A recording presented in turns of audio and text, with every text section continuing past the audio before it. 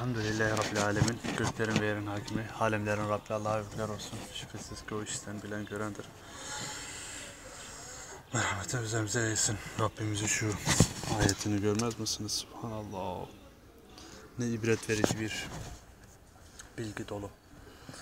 Euzu billahi mineşşeytanirracim. Bismillahirrahmanirrahim.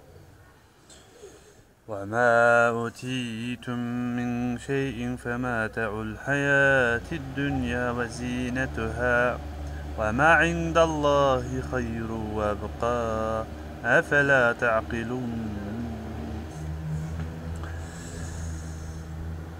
Size verilen bir şey size verilen her neyse o dünya hayatının bir geçimliği, az bir faydası ve süsüdür. Allah katında baki olan, hayırlı olan Allah katındadır. Artık akletmez misiniz? Bu dünyada bir takım süsler bize çekici görünebilir. Bir takım isteklerimiz bizi bize çok tatlı görünebilir, çok ağır gelebilir. Ama aslında gerçekten her şey deri- derinde, derinde başlar. Asıl e, konu derindedir. Şu ağacı biz şurada limon koparıp yiyoruz. Basit gibi bir şey ama o onun derini olmasa o limon olması ihtimali yok.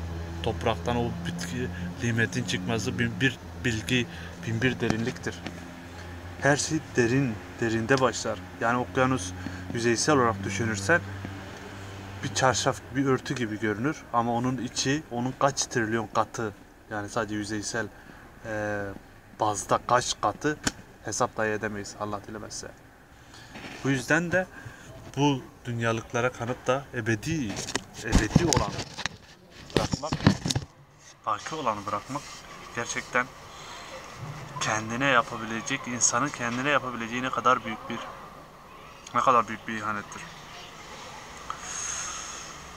أفمن أفمن وعدناه وعدا حسنا فهو لا لاقي لاقي لاقيه كمن متعناه متاع الحياة الدنيا ثم هو يوم القيامة من المحضرين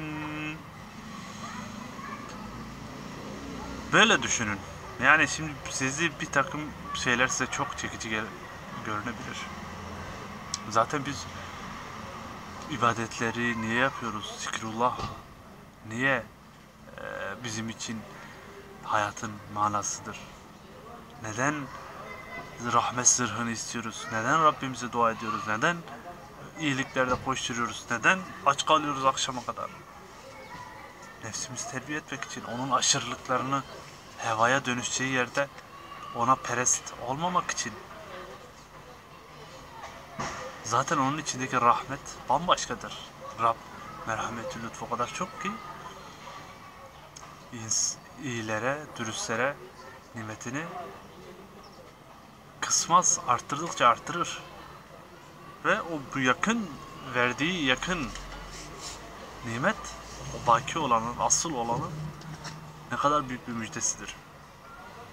Ona güzel bir e, söz verdiğimiz, yani Rabbim verdiği bir vaat, vaat verip de ona eren kimse, yani ona erdiğini bu dünyada da kişi imanıyla rahatlıkla Allah'ın izniyle çöpülür. Yani iman edenler o gün biz zaten biliyorduk, bekliyorduk diyecekler. Çünkü Rabbin rahmet, esenliği, sekineti, güzellik nimetleri vardır. Bu asla imandan uzaklanıp tadabildiği bir şey değildir. Ve Allah yani siz bunu erdiyseniz bunun üzerinden imanın içindeki güzellikler üzerinden lütuf, hidayet, nur, rahmet üzerinden hesap edin.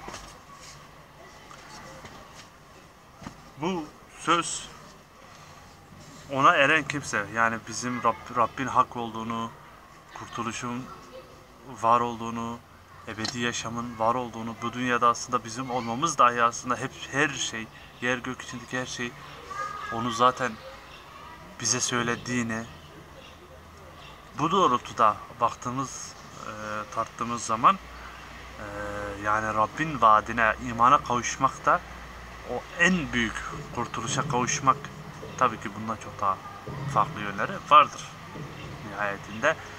e, şu anda umuyorsun nihayetinde imtihandasın başına gelecek günahların örtecek sen iyiliklerde koşturacak ibadetlere zulüm katmayacaksın imanına elbette ki yalnız Allah'a güvenip dayanacaksın ve onun gö- e, e, razı olduğu yolu gözeteceksin. Yani onun razı olduğuna razı olacaksın. Sevinçle eğer hemen bir, bir takım sebep bir sebeple gerçek gerçekleştiremiyorsan Rabbin merhameti zannettiğinden çok çok fazladır. Gerçekleştiremediğin için sana bir e, hemen gerçekleştiremediğin için seni zaten kahredecek olsaydı, seni helak edecek olsaydı sana bir süre, bir zaman tanımazdı. Ama senin doğru Rabbin razı olduğu yani en ufak bunun en ufak bir yani emirler tabii ki küçük küçük ameller emirler birbirinden farklıdır. Meyveler gibi, insanlar gibi. Yani en ufağı dahi yani en ufağı dahi Rabbin razı oldu belliyse eğer sen mevcut üzerine olduğun istikamet gereği onda ona yanaşmakta zorlanıyorsan her şeyi bırakmanın manası ne? Bu, bu- bu nasıl bir şeytan tuzağına kalmaktır? Anladın mı? Yani hayatın içerisinde sahip olamadı, isteyip de sahip olamadığın küçük bir şey düşün. Bunun için hayatı tamamından vazgeçiyorsun. Ki bugün intihara kalkışan kalkışana imansızlar geziniyor. Tabii ki vaktin gelmesi hasebiyle hala o cahilleri, zalimleri az bir e, göz boyamayla hemen peşine e, düştükleri o siyasi de kişiler dediği azmanların artık bütün foyaları ortaya çıksın. Ve hem de zaten hiç kimse Allah hiç kimse elleriyle kazandığından başkasını reva görmez. Ee, ve hiç kimse yani kötülüğün tamamı insanın kendi eliyle yaptığındandır. İyilikler Allah'tandır ve Allah gerçekten imtihan eder ve böylece herkes işte bunu inkar sebebi yapan görürsün.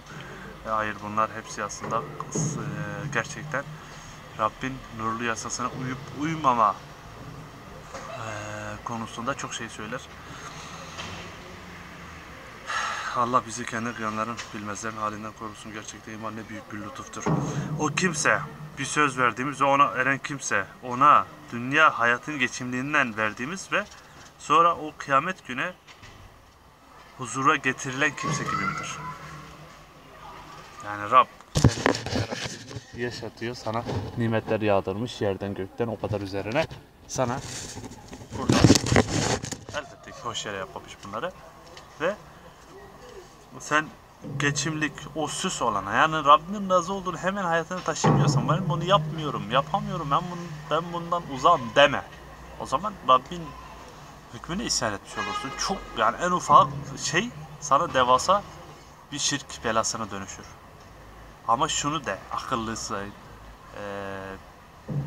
eğer ki gerçekten dürüstsen imanında diğer noktalarda Rabbim sürekli iman edenler bunu yapsın. Rabbim razı olduğunu gönlüme razı kıl rahmetinle. Razı olmadığını gönlümden sök al rahmetinle. Rahmetinle olduğu zaman sen acı yaşamazsın, pişmanlık yaşamazsın. Aksine o çıkan doğru aslında mutluluk içinde işte huzur var, mutluluk var. Kendiyle bütün olup ben bundan vazgeçemiyorum dediğin şey senden söküldüğünde mutluluğun kat kat artar. Anladın mı? Yani ama diğer tarafta sen yapamıyorum dediğin şey sana Rab rahmetiyle sana sevdirdiğinde onu yapmaya başladığında normalde Rabbin yardımı rahmetiyle lütfetmesi öncesinde sana işkence gibi görünen şey sana bir esenlik kaynağı olur. Anladın?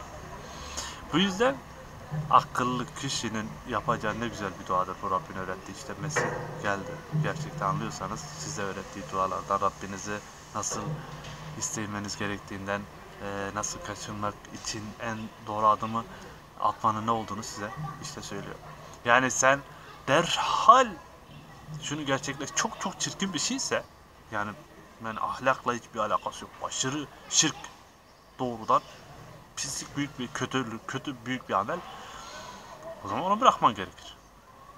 Ama hani o ameller de derece derecedir. Onun aşağısında bir amelse ve doğrudan böyle gerçekten lanetlenme sebebi bir pislik bir şey değilse o zaman ya ben bunu da yapmayayım deme. Ben bunu yapamıyorum zaten deme. Rabbim bana sevdir doğru olanı, güzel olanı, razı olduğunu bana razı kıl.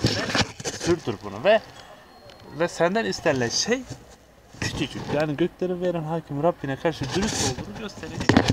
Gerçekten küçük adımlar atmak. o senin adımını büyütecektir. Ama yapmazsan zaten bu dünya hayatın bitecek. Bu dünya hayatında ebedi kalmayacaksın. Bu yani o huzur bulduğunu zannettiğin şey aslında bir huzur olmadığını nihayetinde göreceksin. Aslında bir aldanmadan ibaret bir durum olduğunu nihayetinde tadacaksın. Ama o zaman gerçekten huzurun kaçmış olacak. Bu yüzden de akıllı kişi yani sen bir en basitinden bu dönemde bir iş yaptığın zaman işin önünü sonunu ortasını birçok yerini hesap edeni görürsün. Yani sen asıl işin asıl işin sen kesin olarak az sonra ne zaman olacağı belli değil. Az sonra öleceksin ve gerçekten kendine ne kazandın? Asıl derdin, derdin herkesin asıl derdi bu as- olması gerekir aslında. ويوم يناديهم فيقول أين شركائي الذين كنتم تزعمون قال الذين حق عليهم القول ربنا هؤلاء الذين أغوينا أغويناهم كما غوينا فتبرأنا إليك ما كانوا إيانا يعبدون Aleyhlerinde o, o gün seslenecek ya diyecek nerede? Ortaklarım o ki iddia ediyordunuz. Yani bugün sizi bir sebeple bir put sizi Allah'ın emrini yapmaktan alıkoyuyorsa siz onu Allah'a ortak koşuyorsunuz demektir. Yaptığınız Gerçekten zulüm. Yani göklerin veren hakimi Rab sana bütün hayatı yaşam veren, her şeyini veren ve sana vere, verebilecek yegane kudret sahibi, sana yegane seni kurtuluşa erdirebilecek Rabbin sen buyruğunu biliyorsun, içi hikmetiyle beraber sebebi ama bir takım şeyleri onun önüne koyuyorsun. O zaman Allah o gün onları seslenecek. Nerede? Ortaklarım o ki iddia ediyordunuz. O gün onları seslenecek ve diyecek nerede ortaklarım? Gerçekten buna verecek cevabınız olduğunuzu mu düşünüyorsunuz? Ve dedi o kimse hak olan, aleyhine söz hak olan Rabbim işte şunlar azdırdığımız o kimselerdir.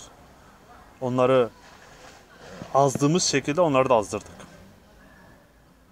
Sana uzaklaştık.